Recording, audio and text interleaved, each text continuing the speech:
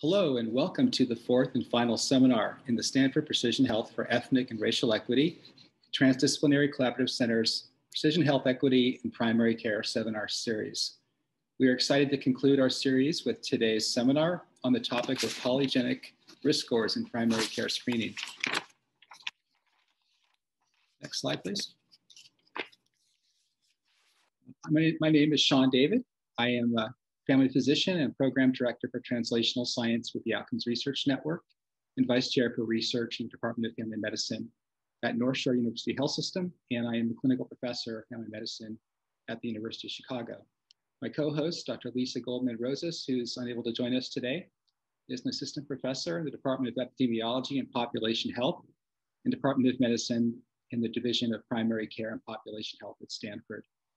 She's also faculty director for the School of Medicine, Office of Community Development, and the Stanford Cancer Institute Community Outreach and Engagement Program.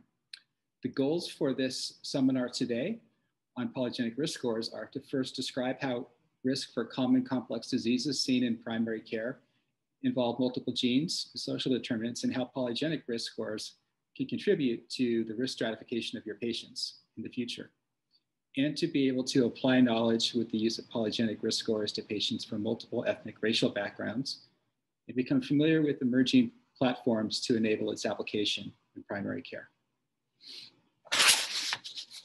Next slide. So this series is accredited for one hour of AMA CME credit and is geared towards primary care providers serving diverse communities, as well as community and academic partners interested in the promotion of health equity. It is sponsored by the Stanford Office of Faculty Development and Diversity and the Health Equity Action Leadership HEAL Network and Sphere. Next slide.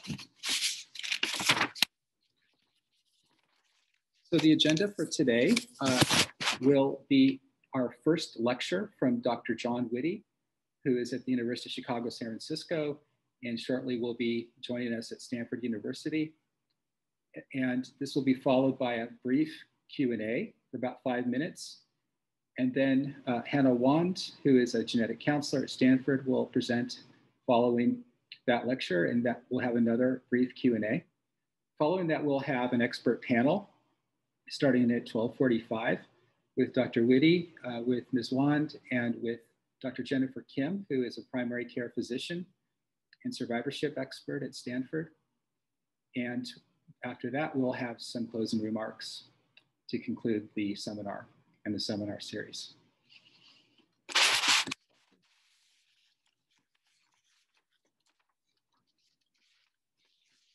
Also, just make a, uh, please note that uh, during the seminar, uh, to mute your, your audio uh, and enter questions into the Q&A throughout.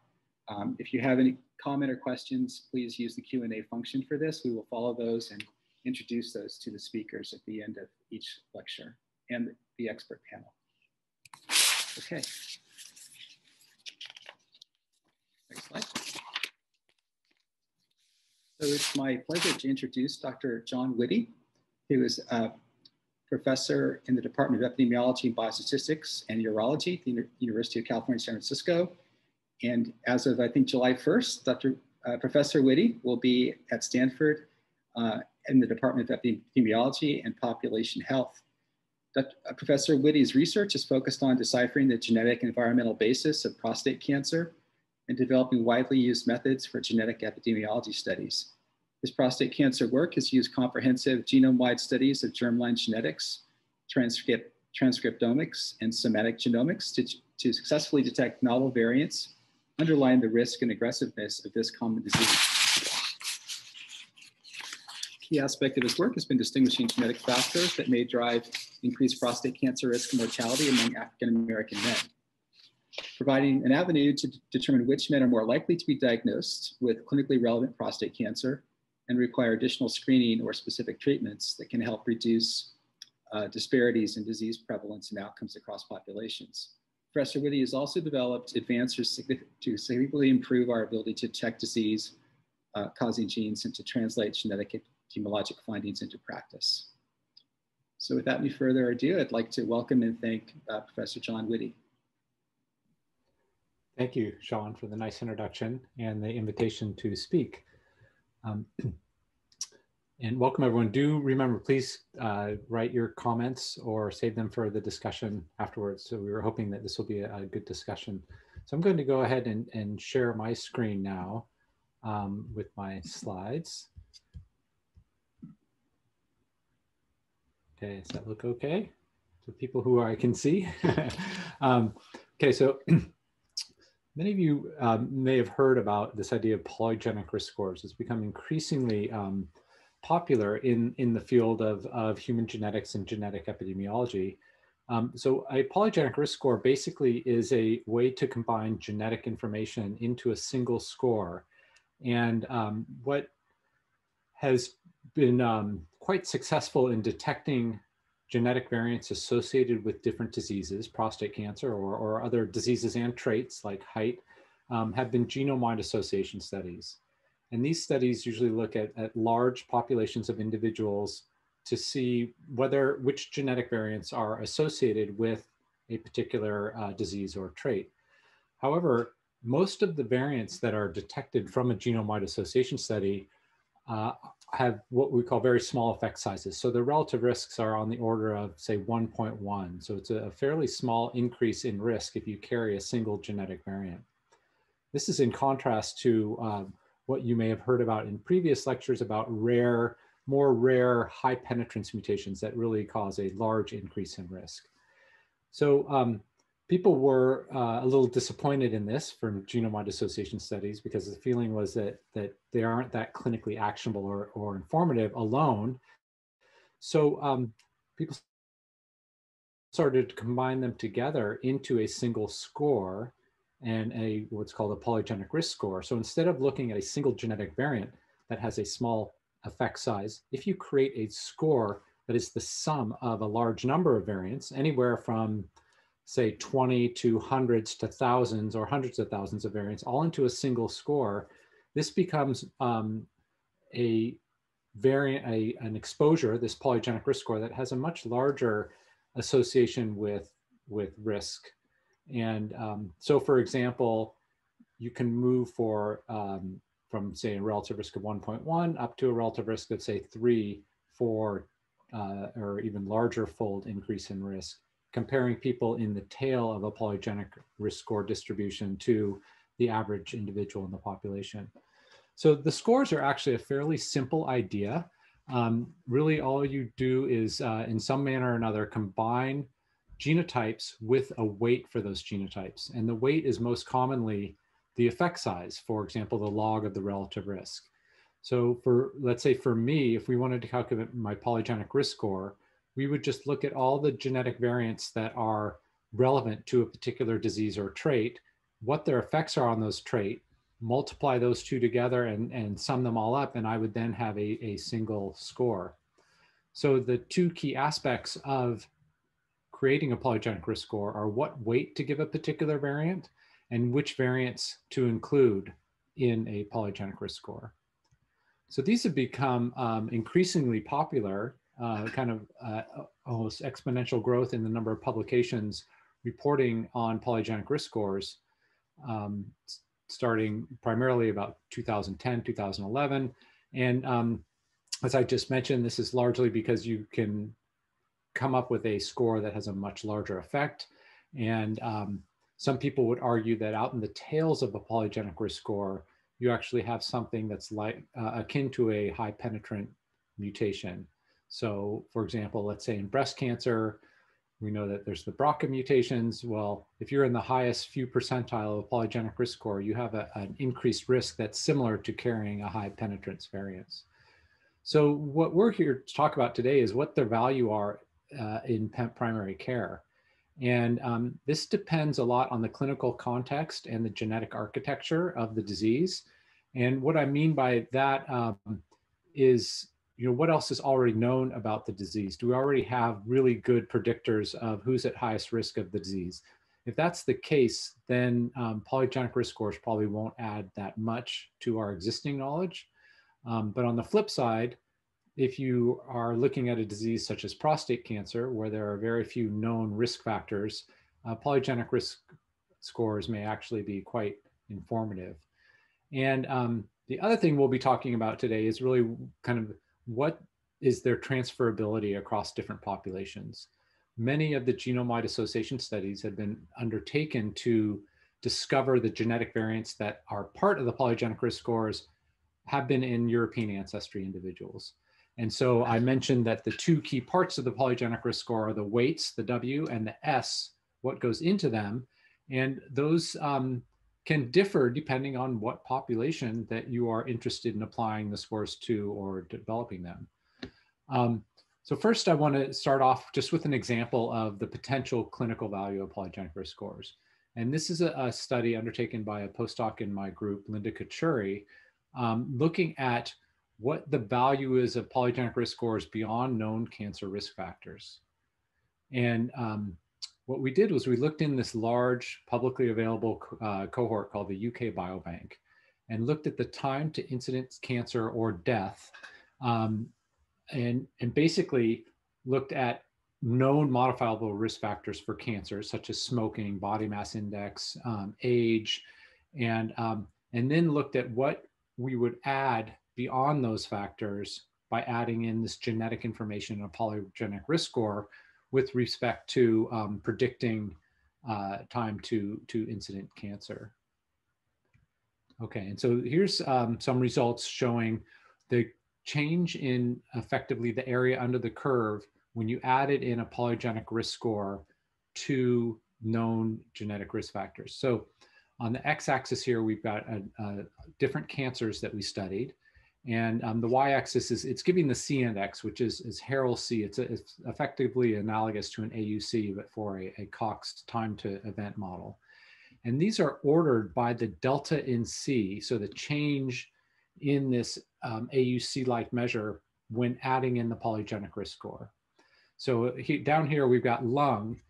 Um, if you look at smoking and lung cancer um, and age and some other known risk factors, you're going to have a fair, fairly high AUC and adding in the genetic information really doesn't change that much at all. On the other um, end, let's look down here. So here's prostate cancer. We can see that, that the known risk factors for prostate cancer, family history, um, age, gives you an AUC of uh, 0.7 something, and then you get a bump up to uh, about a 0.05 bump in AUC by adding in um, known genetic factors in the polygenic risk score.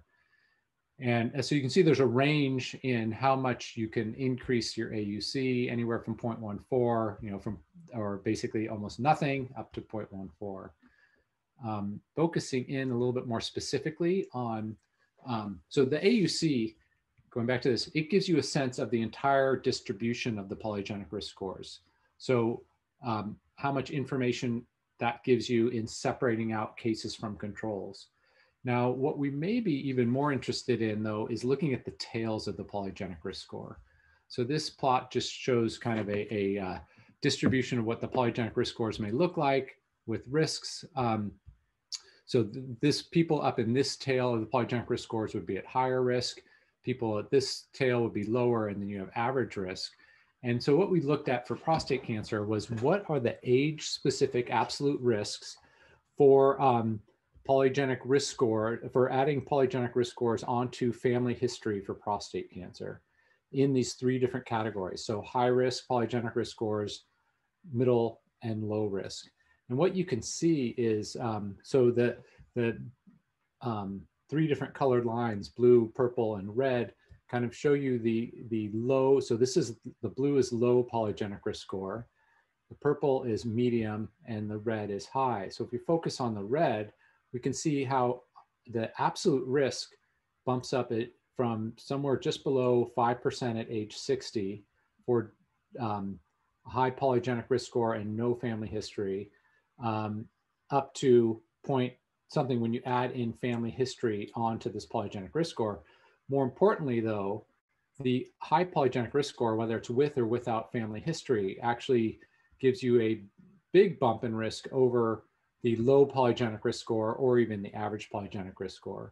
But really, if you contrast the tails of the distribution of polygenic risk score, you can see that you've got this substantial increase in risk for men um, uh, risk of prostate cancer for men who are in the high tail of polygenic risk score, suggesting that that these are the men that we may want to um, do more PSA testing on or, or uh, screen more often.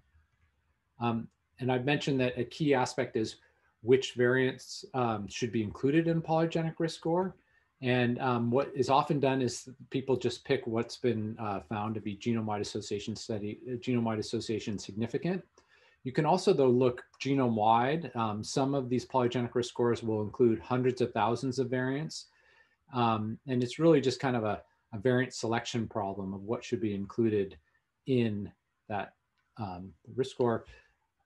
The other question is what weights should you be used? And obviously you, you should um, apply and develop. So there's kind of your discovery set and then, uh, you know, your training set and then your testing set. So you have to find the variants that you're going to include and their weights in one data set and then apply it to another data set. Otherwise it will um, overfit the model. And as I mentioned earlier, these are the weights are often the log relative risks. Um, but this does bring the question up about you know which population. Um, if most of the genetic variants have been studied, have been detected in studies of European ancestry populations, will these polygenic risk scores work if you just apply them directly to other ancestral populations? Or will you actually increase potential health disparities by using a polygenic risk score that's not really applicable to an, another population? So I want to um, mention some other work from my lab. This is a, a PhD student, Taylor Cavazos, um, who looked at, um, with a simulation study, kind of how transferable these polygenic risk scores are, are across populations. And um, what we showed was, first of all, that, um, that the accuracy, kind of uh, how accurate a polygenic risk score is for, is for predicting risk of disease decreases with uh, less European ancestry population. So if it's discovered in a European ancestry population, it won't work nearly as good. Um, and this is basically a linear um, relationship whereby the accuracy gets lower and lower the less proportion of European ancestry uh, an admixed individual has. Um, and then we looked more specifically, so we were, we, um, the simulation, we kind of simulated African versus European um, populations and kind of looked at um, the, the different um, populations and whether the weights from particular populations, so the W that was used, the, the S and the W, which would work the best. And it turns out that if basically um, if we had started with African populations to begin with, so instead of studying Europeans and then developing a polygenic risk score from them, if we'd started with African ancestry individuals, we would actually have a more accurate polygenic risk score and a more transferable polygenic risk score to European populations. Um, and this was interesting. It makes a certain amount of sense. I mean, the African population is an older population. And um, I think that you basically are I don't know if the, the right term is kind of covering your bases, but you're, you're getting a deeper, more informative um, polygenic risk score by studying that population first. Um, and then it turns out that actually you can mixture, you can use a mixture of uh, polygenic risk scores by combining individuals um, or information from genome-wide association studies that include both European ancestry and African ancestry. Um, and if you want, there's a lot of specific details um, but you can go ahead and look at this paper if you want more details. But the, the bottom line is that, that just using European ancestry polygenic risk scores and applying them to other populations um, does have uh, a, a, real potential for uh, increasing health disparities due to um, not being accurate in predicting risk. Uh, so the last thing I want to mention is actually um, a trans-ethnic polygenic risk score that we developed and applied to, to prostate cancer. This is a huge collaborative project, over 100,000 cases and 100,000 controls. And um, the, I mean, we've been working on this for a long time, and there's uh, this is the most recent publication to come out of this collaborative group. And um, what we did was we searched for prostate cancer risk variants using a multi-ethnic meta-analysis of the genome-wide association studies. So in with this huge population sample size, we actually had a, a reasonable number of non-European ancestry individuals. So we were able to look within different ancestral populations, undertake GWAS within them, and then combine them all together and developed a kind of trans-ethnic polygenic risk score. So there's variants in this polygenic risk score that say are were only found in Asian populations, but they're in that polygenic risk score. So we've developed something that kind of hopefully would work across different ethnic groups. And we did find that it actually had um, similar uh, prediction. So this is kind of like the figure I showed before where we have the risk of, of prostate cancer by age. And we've uh, broken it down to European ancestry versus African American.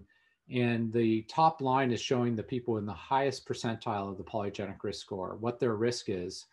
Um, so you can see that the absolute risk is, is quite high and it really separates out when you look at the top decile or the top percentile of polygenic risk scores. Interestingly enough, it actually worked relatively well in the African American population.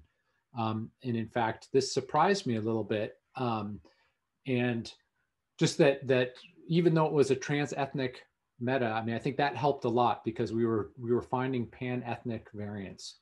Um, and we were also leveraging uh, information about populations to, to refine the lead genetic variants in a region.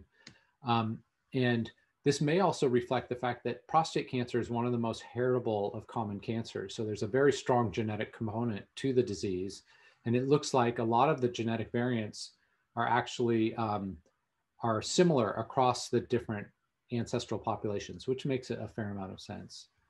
Um, and so actually the one last thing I want to mention is that we just actually received an award uh, from the NIH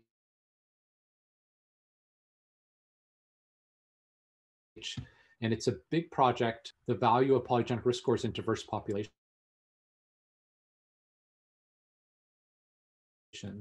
So we're, um, but this is actually, this project is across all different um, phenotypes and the idea is to kind of take a diversity first construction of polygenic risk scores, somewhat like what we did in prostate cancer. So instead of just saying, well, this is what we have from European ancestries, it's really to try to develop new methods and apply polygenic risk scores that, that really leverage um, diverse populations um, at the outset. And so that, that we're, we're kind of starting from that, that background. So this should be a, an exciting project.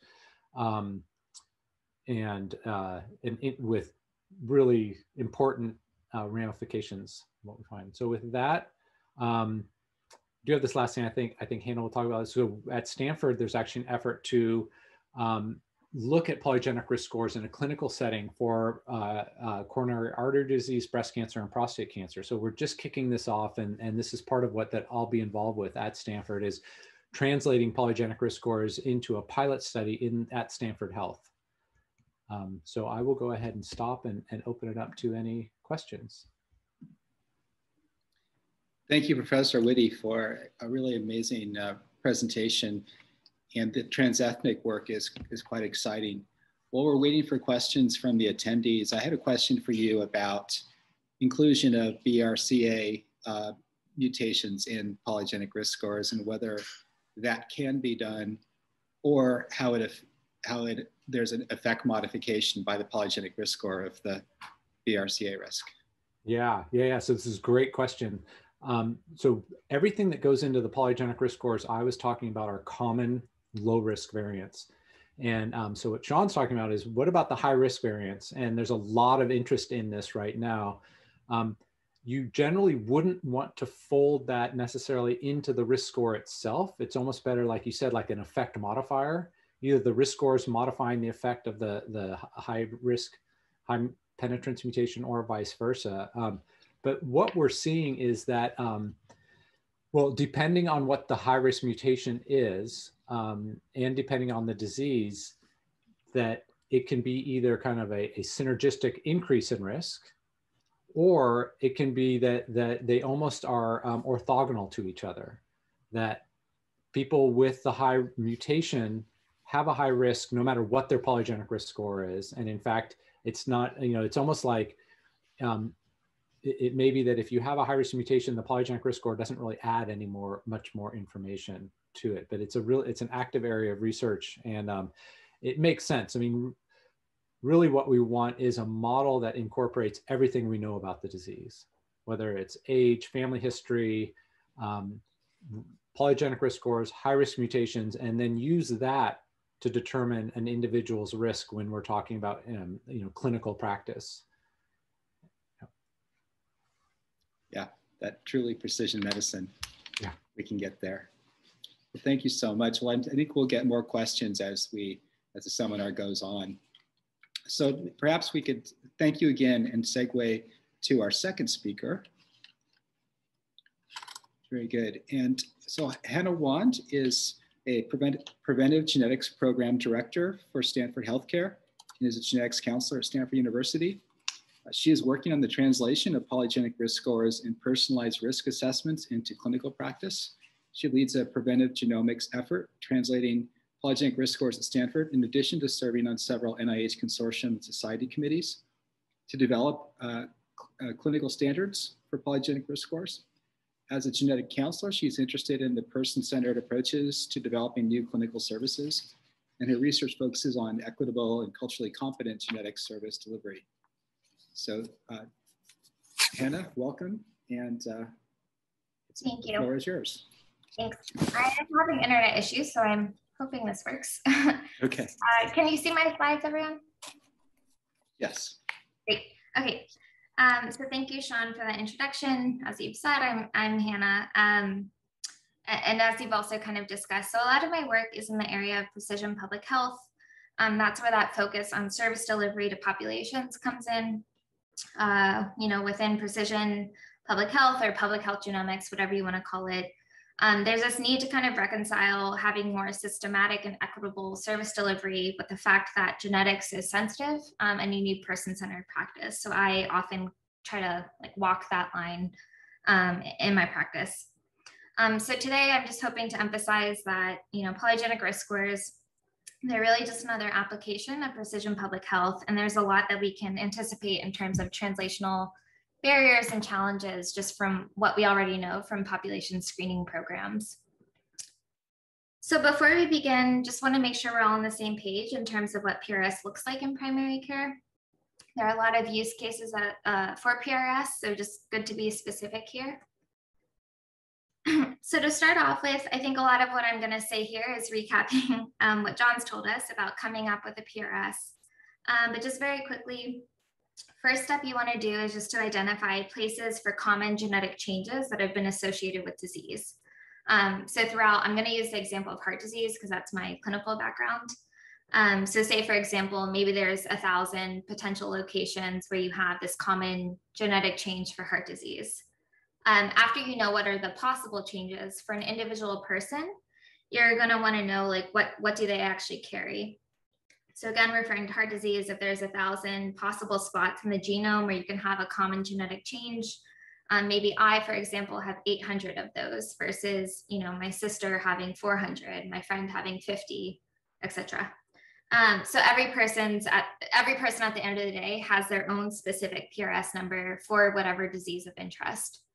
Um, but I've, as I've already kind of alluded to, and as John alluded to, um, really this information is most useful or meaningful um, in terms of the population distribution. I was trying to think of an analogy for this. I think probably the closest that I can think of in my practice is cholesterol. Um, so everyone has their unique cholesterol number, right? You go for your lipid test, you get a number back. Um, but at the end of the day, it's only meaningful to you to know like where you are within the average range. If you're outside of that average range, um, my LDL might be 90, if I'm approaching like 100, maybe that's not so good. Um, so really this kind of sense of relative uh, number or risk is going to be similar to how PRS are interpreted. And the way that this is going to be used in primary care for the most part, again, defining the specific use case, there are other ones, but for primary care, um, it's really going to be around the concept of preventive screening. Um, so already in primary care, uh, and I'll, I'll, defer to Jennifer later, later on. Uh, but really, we, we're already screening for com common chronic conditions, right? So we have different screening markers like biometrics, including cholesterol, um, that we already use to try to think about someone's risk for common chronic conditions. Really, the idea here in primary care again is to add PRS as an additional screening marker for these common diseases.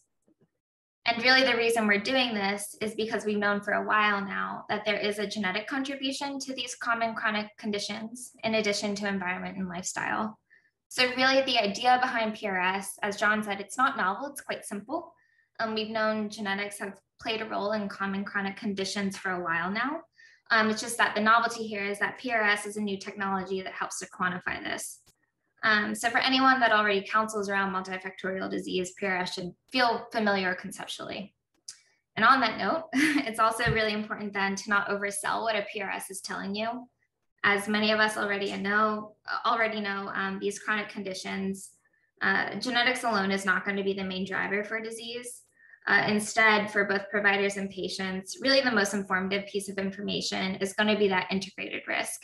And what I mean by integrated risk is combining the, the polygenic uh, risk information that you get with conventional markers that we've already associated with disease risk. Because that, that's really what gives you that complex disease kind of holistic um, understanding of what's going on in a patient. And I mention that obviously because for providers on the call today, in terms of medical management um, and any counseling you do with your patient, it should really be based in that holistic picture and like not only in the polygenic risk score. So just giving uh, more of an illustrative example of what that looks like, again, using heart disease as my example, we already use like the pooled cohort equation or a ASCVD calculator to predict heart disease risk. Um, it's really just a matter of adding on your genetic risk in the form of the polygenic risk score to help guide your practice. And I guess that kind of prompts the question then, like, what do you mean by guiding practice? There are different ways to think about the utility of this information. Um, I think probably the most well known to this audience is that of clinical utility and actionability. These go pretty hand in hand. So does PRS truly predict disease? In what way does it improve outcomes? Usually involves intervening at some threshold. Um, but one that I'm interested in, probably not surprising with my genetic counseling background, is that of personal utility. Um, so this is focused more on how does health information, including PRS, um, how does that help someone like adapt and cope to disease or possible disease? Uh, reactions, they can be cognitive. Um, so thinking about better understanding of disease and the role of health behaviors. Um, it can also be emotional. Um, it can deal with things like stigma and things like that as well. And finally, public health utility. Again, just thinking that PRS, because it's focused on common conditions that we already screen for from a public health lens and a population screening lens, really important to take into account what is the public utility, uh, public health utility here. And I think John also discussed about this, you know, are there other options available? What's the cost utility here? What's the added benefit at the population scale? Um, do people have access to this? Is it improving population health? Is it decreasing or exacerbating disparities? Um, so you also need that kind of population level approach. And I would say all of these are critical. There's no one thing that's kind of going to be the driver in terms of whether or not we move this into practice. So I think I've mostly focused on like kind of highlighting the benefits or the reasons why we're trying to even translate this in the first place. Um, but I kind of mentioned there, there are things we've learned just in population screening in general that I, I can anticipate um, being challenges for this. Um, so I wanted to balance that conversation, thinking about real world challenges more at the programmatic and systematic level. Um, these are not specific to PRS, but just genomic services in general, uh, but definitely ones that will be exacerbated with PRS because it's really the first application in genomic medicine that's primed for you know the general population rather than you know rare disease type of patients. So first thing we're going to run into is infrastructure. Uh, as shown in this little pyramid here, you really need the infrastructure in place before you can support any population-based services like polygenic risk scores. Uh, we need to invest in our electronic medical record, provider training, billing policies, you know, patient education around genomics. All of that really needs to be in place so that we're not having this like one-on-one kind of manual process in terms of implementing this at scale. Um, and I can tell you that a lot of this is not currently in place because a lot of historical genomic information, it's been uh, kind of siloed in terms of rare disease. So uh, again, Jennifer, I'll defer to you for your experience, but I don't think genomic training is, you know, routine or kept up with in terms of provider training. Uh, certainly in my experience interacting with patients, it's not, not the common thing that you can assume. Um, same with, you know, billing and things like that. Uh, so if we want to have this practice, we need the infrastructure to be at kind of a higher level for us to really plug into because there's not something to plug into right now. Um, second kind of learning lesson, I guess, it's not just a matter of scaling, um, scaling resources or anything like that. We also need to change. Um, currently with genetic services and access to them, it's not very systematic. Um, it's very much driven by biases or privileges of the patient. Um, so we really need to change that because what we see currently is that there's disparities by race, um, SES status in terms of like insurance coverage and things like that, whether or not you speak English and you have like materials available for you, uh, things like geographic area, do you have like a certain provider that's trained in a certain way available to you? Uh, so all of these current disparities are gonna, you know, exponentially increase if we scale what we currently have. We can't just you know, do, do what we have already and make it bigger. We have to change what we have and then make it bigger. Um, so that's going to be another major barrier. Uh, we can talk about this in discussion. I don't have a clear answer on how we fix this. Just know that it's a it's an issue. And then third and final point that I want to make in terms of like a major kind of general problem with genetics that are going to be exacerbated with PRS, uh, we really need to engage the public. Again, it's a population level service we've kind of escaped needing to involve the public before because it's been a lot of rare disease focus in genomics. Um, but as a population level service, we need to kind of, you know, start involving people more broadly. And this is because genetic identity, it's really complex. You know, we don't want to over medicalize what's common. What we need are experts in political science, anthropology, and so on um, to really just inform us on how to think about genetic identity through a more complex social lens um, particularly with marginalized um, populations. Because uh, we don't, yeah, we don't want to reinforce any forms of discrimination or like power conflicts or anything like that through through the like kind of widespread uh, implementation of genomic medicine as a routine thing in healthcare. Uh, at the center of this kind of ethical legal agenda or ELSI agenda, uh, we should really have public engagement. Um, from the few studies that have tried to do this already, we already know that although there's like a fairly universal curiosity in one's genetics, there's a lot of concerns in terms of data privacy and protection and things like that.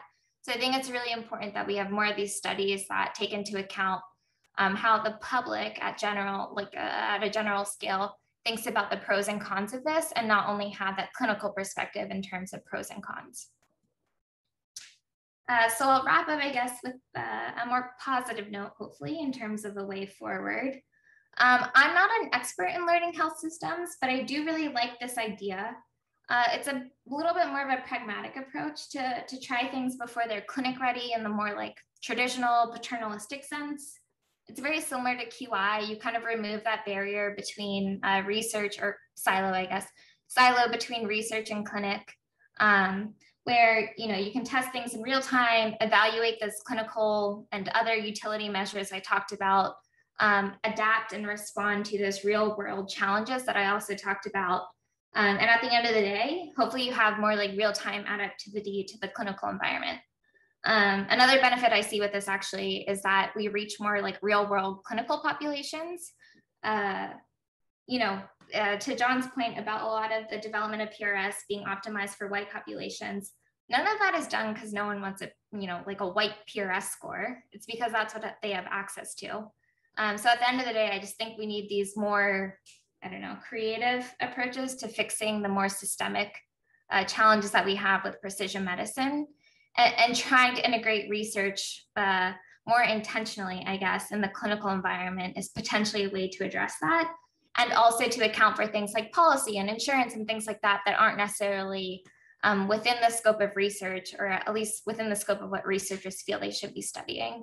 Um, so I think more of these hybrid approaches of like research translating into clinic are probably necessary for PRS and uh, precision medicine more broadly. We've certainly seen uh, the use case with COVID recently.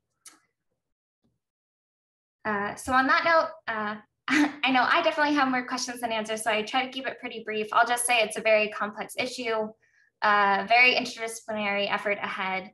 Uh, I, I want to stop here and leave more time for questions because I imagine a lot of you have them, um, but looking forward to discussion. And hopefully now I can share my video without it crashing. Great. Thank you, Hannah. That's really a fantastic overview of the, of the issue. And I wanted to um, ask you a question about, so Sphere has done a lot of community engagement, uh, mixed methods research with minority communities around communication of genetic information. One of the areas we didn't really get into was polygenic risk score communication and, and whether there might be certain, if the same issues arise culturally in terms of taboos discussing this or um, concerns about genetic discrimination for things like diabetes or, or common cancers that might be very different than what we usually think about. So yeah. I wonder what your thoughts are about, first of all, communication archetypes and how to approach this as a primary care physician with something that is kind of still translating from research into practice. Mm-hmm. secondly, about how PCPs and FQHCs and, and minority communities, how they can be local champions and engage as they try to implement in sensitive ways. Yeah. This is why I think there's there's a need to really push or, or to push the the public engagement and public voice in terms of just like the research setting because a lot of what policy and practice is built on is the research right? But I can speak as a provider. I feel pr- pretty informed on the nuance there as a provider with the one-on-one interactions I have with people. Um, but if I'm not getting out there and disseminating that information, it's not going to be known. Um, so actually like one model we've had for that at Stanford. So John mentioned that we have this program coming up. Um, the, the patients at the, you know, the center of that. Um, so actually through Lisa's help, and I'm sorry she couldn't be here today, um, we were able to convene um, a community group through the Patient and Family Partners program at Stanford and go over exactly those questions of, you know, what are your reactions to this? what experiences are you drawing on and we can get kind of a range of experience on and advice on where you know what factors might be driving differences there whether it's like uh, cultural differences or you know disease experience differences or or what have you. Um, and, and i think we need more of an evidence base to really comment on that because that's not widely available yet. Um, but yeah, in terms of like that learning healthcare system approach, it, it's why I like that idea a little bit better because it's like clinical practice with a little bit more intention where we're also backing the funding to, to evaluate what we're doing in real time um, and mm-hmm. get that feedback as we go. Uh, so yeah, I, I'm hoping we learn as we go. I'll say frankly right now, I don't think we have a good guess. A lot of it is very like hypothetical questions with people about like the idea of precision medicine, um, not in a way where they've implemented people actually receiving those results. Makes sense. Thank you. So um, yeah, and, and I think you know how do how do primary care physicians when they're getting to know a patient, taking a, family history, social history, how do they be open up discussions about this issue, which is sensitive, like end of life decision making, other things. Um, those are competencies that haven't been really well defined in the training. And it seems like another education's another area that needs to be developed. So thank you very much. Um, would like to actually introduce our, our next guest today. We could go back to the slides. So thank you. Dr. Jennifer Kim is a primary care physician, a general internist at Stanford Healthcare. Uh, she's also an expert in uh, survivorship research for cancer. In 2018, Dr. Kim established the primary, Stanford Primary Care Cancer Survivorship Clinic, where she focuses on how cancer and cancer treatment impact health, both physically and emotionally in survivors, and now and moving forward. And before we move to our panel, we have a question for Dr. Kim. As a primary care physician, how would you approach discussions about genetic risk for conditions such as heart disease, cancer, or diabetes in addition to the social determinants of health, particularly with patients from minority communities. Hi, everyone. Yeah, thanks for having me. Um, this has been really interesting for me to learn about this. And, um, uh, you know, I certainly have um, a lot of patients with heart disease and diabetes, but um, tend to see a lot of uh, cancer survivors through, through my program. So um, have a lot of questions about all of these areas. Uh, and, you know, I think that to me, my initial sort of reaction as a primary care doctor is how does this information get to me? right? Like, how can I even interpret it to be able to pass some of that on to my patients? And, um, you know, having very specific information and background, it, I think is very important to this because a lot of these uh, the the burden of some of this ends up on PCPs uh, and having to sort of explain um, and any of the fallout that comes from that. In some of in some ways, I think really helpful, and in some ways, I think potentially not.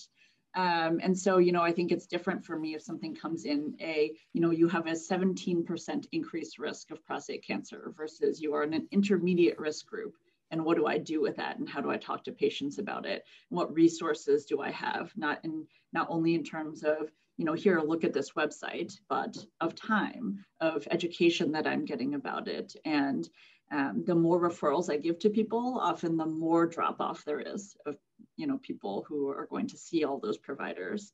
Um, and i think i think you start with first trying to explore with patients do they want to know more about their genetic risks? Um, and you know what are the options? And you know do these options have preventative measures? For instance like cardiac disease has a lot more preventative measures than if i'm going to tell somebody their breast cancer you know risk score um, and as with anything i think shared decision making is really important in an area like genetic risk scores um, but all providers are a little bit different in, in how we do this, even for prostate cancer screening, which is, I think, one of our most common, you know, shared decision-making screening tools.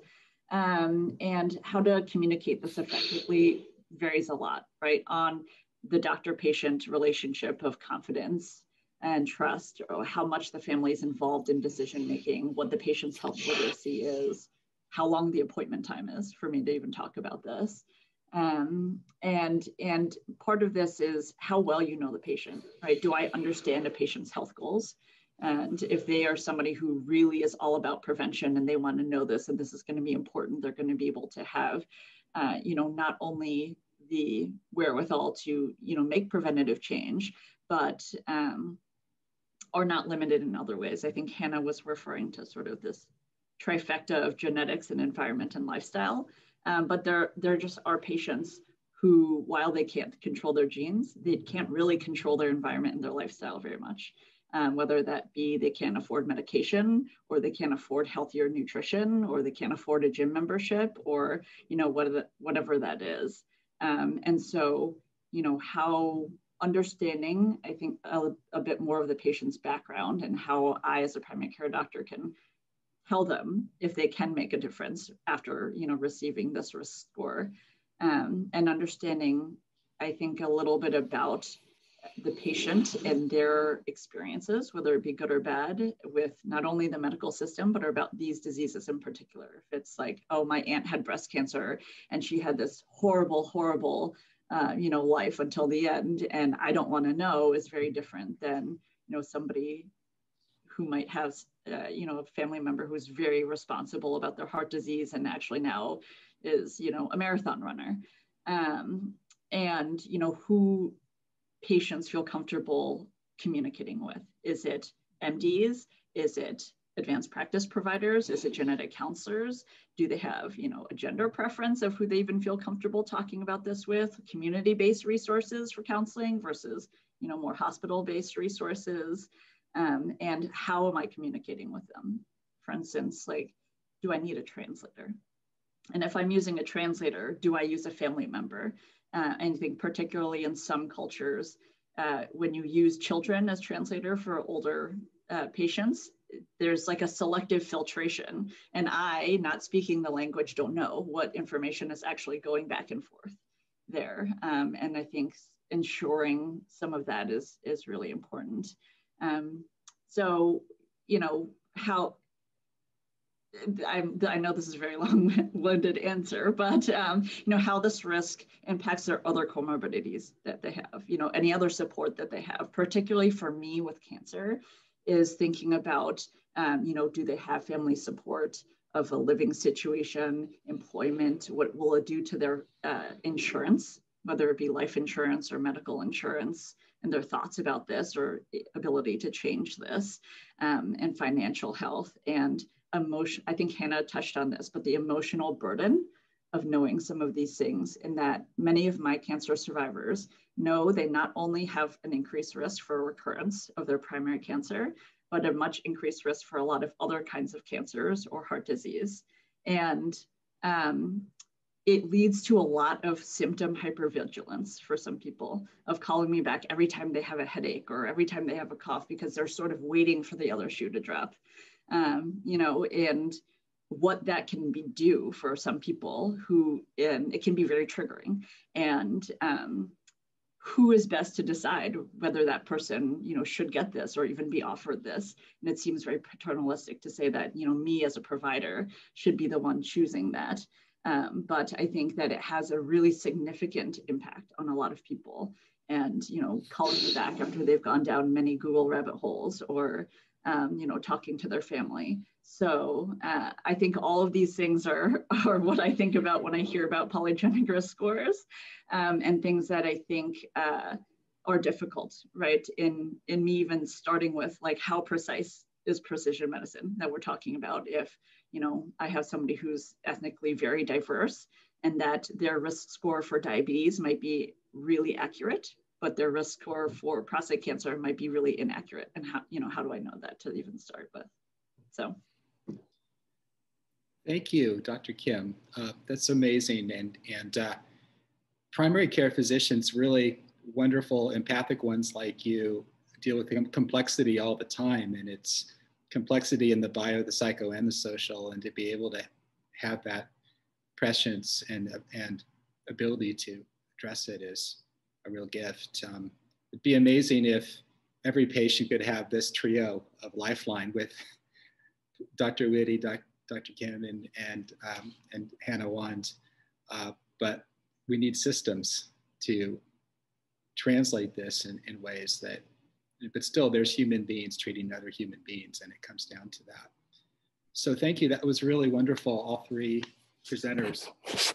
I'd like to transition into our expert panel and just reintroduce our, our speakers today. Professor John Witte from University of San Francisco, University of Chicago, San Francisco, and University of California, San Francisco, and shortly Stanford University. Uh, Hannah Wand from Stanford and Dr. Jennifer Kim. And if we could transition to the discussion questions. We have three discussion questions, and these are uh, open to all three of our speakers today. The first is, are polygenic risk scores ready for prime time? to be implemented in primary care? If not, what additional discovery and implementation science do we need to get there? Perhaps we could start with uh, Professor Witte. I think the answer is it depends. Um, certainly not as a blanket statement, not all polygenic risk scores, and um, and that's um, in part why Stanford Health is undertaking this pilot study to see how people react to this offer. And, and um, so they're, they're, they're at different levels of development for different diseases and traits. Um, and there's also, uh, as we talked about a little bit today, you know, what, what's the next step? And that's obviously an important question. You, you don't want to determine this information if there's no actionable next step that can be done. So if, if, it's just to tell someone, oh, we think you're at a higher risk of disease, but there's nothing you could do, that's not valuable at all. Um, so uh, yeah, it depends. Um, how's that for a, a vague answer? But um, I think that um, with regard to the additional discovery and implementation science, um, obviously there's a, a, huge need for studying more diverse populations and um, and developing methods to make sure that the polygenic risk scores um, don't increase health disparities um, by being applied in, incorrectly or inaccurately. Um, and I think um, I really appreciate Jennifer's points about, you know, what this is a, uh, a complicated thing to communicate to a patient. I mean, it's not it's not complicated per se, but it's it's complex and and how you um, how you communicate that, how they will react to it, whether it does trigger some some feeling like I, you know, I have this deterministic risk and I'm going to get disease X, Y, and Z because um, it, it, so it is very complicated. We can calculate polygenic risk scores on people at birth, right? So what are we prepared for that? and um, you know, is this something that we're, um, you know, I, I, think with regard to to we do need some uh, much more work with implementation science and understanding what's the best approach to communicate this information if um, if it is at a point where it's developed enough for being communicated to patients. Yeah. Thank you. Great. And, and Hannah, also from your standpoint too, uh, do, do you think there are areas, and I know you're doing research in this area, where it might be ready, particularly the transethnic polygenic risk scores, and and it's it's really not a one size fits all message necessarily, is it? It's yeah. I agree with John. I, I don't think it's as black and white as asking as you know if it's ready or not um, i think honestly just in medicine in general we really need to like move away from that mindset and have such a like clear divide between like what's research and what's clinic because the the reality is that it's it's very iterative right? Um, and not to to beat the horse to death but i i think the covid example is one that in my social circles i've seen as being one way people kind of get this idea um, where they're realizing like in real time we need to adapt to what we learn. Um, and obviously that's a very different situation because it's crisis mode, right? That we're willing to to kind of reduce the bureaucracy between um, research and clinic. But I, I, do wonder what the lasting change of that will be. Um, and if we can kind of shift the culture of medicine to be one where patients are more informed on this idea that you know practice is going to change with time. We don't have everything figured out at the point of care um, especially for those with complex needs. Um, and yeah, I just, I tend to be someone that's not an if person, but a how person. Um, and the reality is that this has already started and it's a matter of figuring out how, how to do it correctly. Um, so I think we need to focus more on like, what are the most impactful changes to make to make this something that is uh, an environment of safety, I guess. Um, so really focusing on the the general kind of lay public um, edu- education on this so that it's less of this like power dynamic of provider and patient talking about complex issues and more one that's more of a partnership. Because a lot of this conversation as we've talked about the communication is very nuanced. Um, so yeah there's just there's you know high high impact things that we can change at, again that infrastructural level to just make this a, a more easily implemented thing in terms of like trial and error where i think everyone would just feel more comfortable all around we need an electronic medical record system that can tr- track um, you know what's happening so that we can evaluate and adjust in real time. Um, so yeah i just I, I, think we need a practice shift and prs is like one example of something that's pushing that but there are other ones too. Um, and as long as we have that system in place to be able to do this safely and protect the patients because again at the end of the day we need to protect their interests um, then yeah, hopefully move to to like a more adaptive system than what we currently have. Uh, I'll say the rate limiting step that I found is that outside of the, the immediate healthcare system, policy and legal implications of, of genetic information is often the kind of like dinosaur in the medical process. It's a rate limiting step.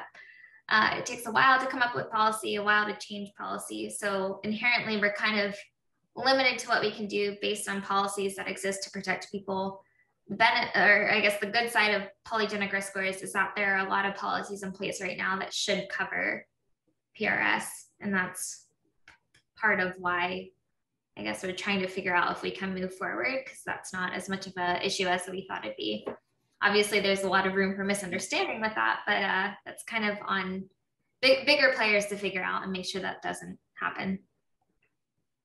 Thank you. It's certainly with with the SNPs, a lot of this is out there in the public already through direct to consumer exactly. tests. And so p- people are learning on their own how to interpret this. And without us being involved in the process, then we're really missing an opportunity to lead. So I really agree with that learning health system approach.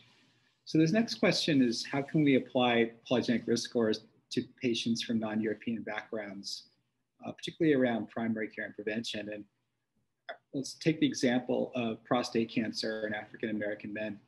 Um, would this change our approach, both in terms of age of screening and other things? And this is another complex issue for a lot of reasons because of the lack of specificity of PSAs and other things. But I wonder if you could address that issue, how you, how you might approach this now based on the transethnic analyses that exist. I'll let John lead on methods. I have a more of a clinical perspective on this, but. Uh...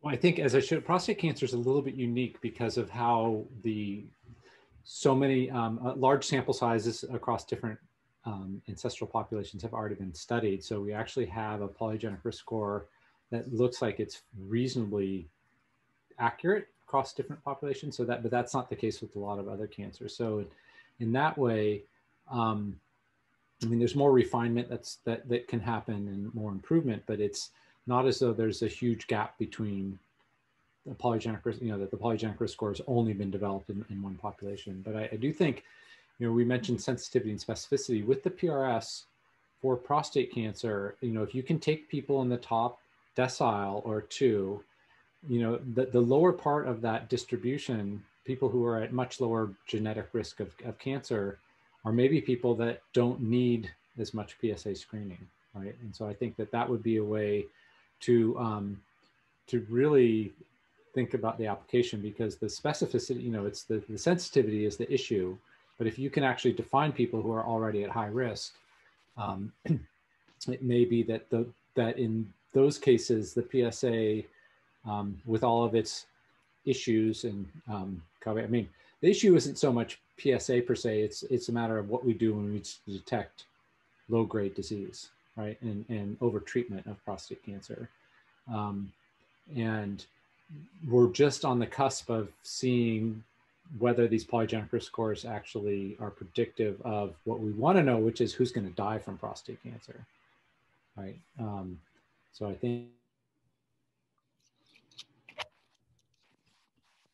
think that uh, that adds another which for, for prostate cancer is, is somewhat complicated because of um, the fact that it's such a slow growing latent disease in most men and, and large majority of them shouldn't actually even be treated. Um, yeah. Yeah. Well, I'll add to that and say like, uh, so to John's point, I think it's really important that we we have equitable tests on the technical side that can perform for different ancestries. I'm excited at the stage where, like, if we are there on the technical side, what the future of medicine looks like. Um, so I, I didn't get a chance to highlight this in my talk, but uh, you know, race is a social construct. It's very distinct from genetic ancestry, um, and especially in the U.S., the history of how you know race labels were made um, was very much based on like appearance, country of origin, et cetera, et cetera, to to reinforce different power dynamics and all of that.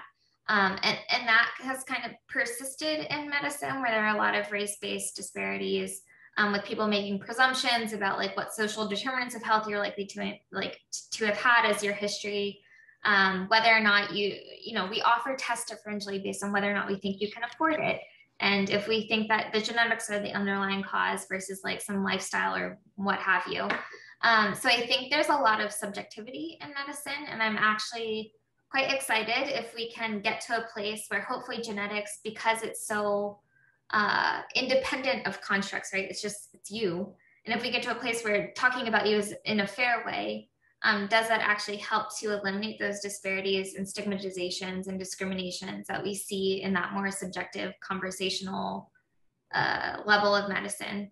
Um, and just speaking as someone that's like mixed race, for example, like I don't know how to answer my race whenever I have to fill it out. And I'm sure how I fill it out affects every other level of care after that. And if I actually had a score that just accounted for me as me and not having to fill some arbitrary box, would I have more like tailored medicine without having the discomfort of these like social lenses that we use um, for medicine? Um, so I think that's like a, a, a potential, hopefully, hopefully good um, future use case in terms of the ancestral background that polygenic risk scores account for. It will hopefully start to like point out the flaws that we have with these race-based practices in medicine. Thank you. And, and so this final question is, what do you see as the barriers to communicating polygenic risk? For common chronic diseases. So things like type 2 diabetes, cardiovascular disease and so forth that have a lot of environmental determinants, um, particularly in diverse communities. Mm-hmm. To all three, uh, Dr. Kim as well. Because we were just talking about the example of Framingham scores just being one part of how you might counsel a patient on cardiovascular disease risk. Um, but what if you had a, some, a score that was even more predictive or it was added to it? How would, how would that change your approach to communication? Yeah, I mean, I think I talked a lot about what I thought might be barriers, but um, I yeah. do agree with Hannah that I think that um, some of this could be really promising, right? In that it takes away some of the subjective framework, you know, that you put on a patient. And I think some issues like mm-hmm. diabetes, um, there is much more prevention that you could do. And it's sort of like how we, I think sometimes about like a coronary calcium score of like as a tiebreaker type of a thing. It's not because you have this, you're absolutely going to get a heart attack. But if you have this polygenic risk score, look, you know, you have a much higher risk of getting diabetes which can lead to a lot of these other complications, which you might have seen in your family, and you know a lot of us don't want. Um, and you know, how can we refocus our talk on how to keep you healthy, right? Because we know you have higher risk instead of oh my gosh, like this is just like your fate is sealed, right? Like you're gonna get diabetes, it's gonna be terrible.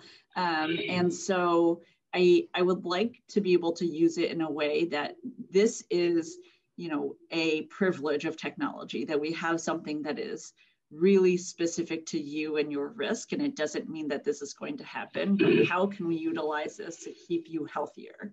Um, because there's a sort of you know a whole lot of other comorbidities that come with this. And i think it really does depend already on diverse communities but common chronic diseases like diabetes is already sort of built into primary care about some of our counseling. Uh, you know, talking about nutrition in a way that's uh, sensitive to your ethnic cuisine, um, or you know, things that are translated in many languages. I think that's a, another big thing about this in communication is having resources that are in many different languages. Um, so, for common chronic diseases, that are you know preventable and you know we already have a lot of infra- infrastructure around i think it it might be very beneficial. Thank you very much. Well we're at the end of our time so i'd like to actually keep talking for another 10 minutes or so but we're at the end of our time and i would like to thank our three brilliant speakers today uh, dr Witte dr kim and, and ms. Wand for a really thorough multi-stakeholder set of perspectives on polygenic risk scores and how we might approach working with some sensitivity with diverse populations and, and a learning healthcare system. This concludes the uh, Sphere Precision Health Equity in Primary Care Seminar Series. Each one of these seminars is available on the Sphere website at the following link. And there is, again, CME credit for providers to apply for. Um, this uh, also will be, there'll be a, an evaluation that you will be asked to complete first. And we'd like to really thank all of our speakers throughout the series and my, my co-host, Dr. Uh, Goldman Rosas, for really a, wonderful um, seminar series and educational resource for the future. And thank you again, everyone, for taking the time from your busy schedules to uh, present today. Thank you, everyone. Thanks. Thank you very much. Bye. Bye.